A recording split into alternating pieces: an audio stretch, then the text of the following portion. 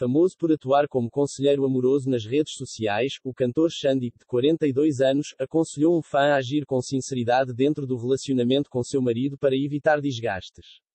Por meio dos stories, no Instagram, o artista abriu a caixa de perguntas e respostas com o título Conselhos Aleatórios. Uma seguidora quis saber se devia contar o quanto gasta para o marido.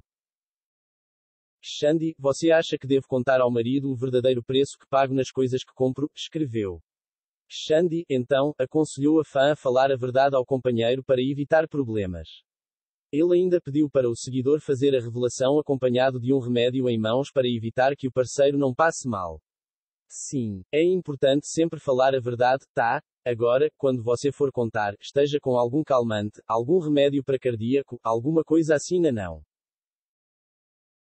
O cantor publicou o vídeo do conselho em seu feed do Instagram e arrancou risos de seus seguidores.